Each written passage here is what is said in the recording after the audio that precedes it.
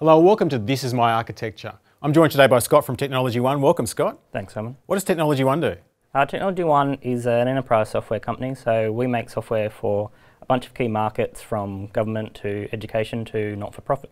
Excellent, and it's a great global success story, but Australian based. Yeah, it is, thanks. Fantastic. So, you've got an interesting story here. We've done a transformation that uh, many of our listeners will probably be interested in. Yeah, so this is part of our cloud architecture, mainly focusing on um, our application servers. So originally we started with all of our products. So our current generation of products is called CI Anywhere and the previous generation is CI.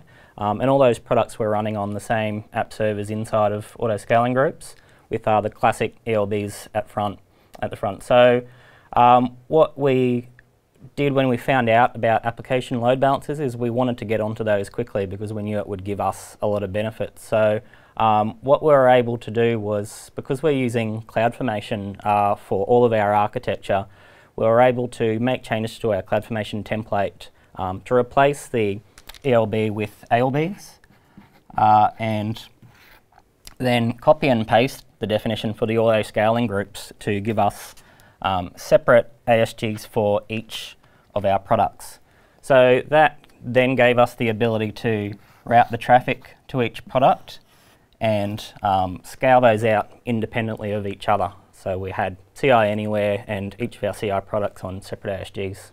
So by having them separately, you were able to optimize better? Was that one of the drivers? Yeah, definitely. Um, it was certainly one of the drivers and one of the immediate benefits that we saw. Um, so because each of the uh, ASGs was mapped to a target group um, behind the application load balancer, we were able to see the CloudWatch metrics for each target group straight away, and that told us things about our products that we weren't able to see before. So we could see um, the behaviour of each product individually, and that also then allowed us to uh, tune each product based on those metrics. So you could optimise from a, an infrastructure perspective, but also from a code perspective as well. Yeah, exactly. Yeah. So we used things like the uh, ability to have a target he targeted health check for each product and also um, being able to see things like the number of requests and request latency uh, on those metrics allowed us to make decisions about how to improve the performance of the software for mm. each product. Mm. And this is all .NET on Windows, is that right?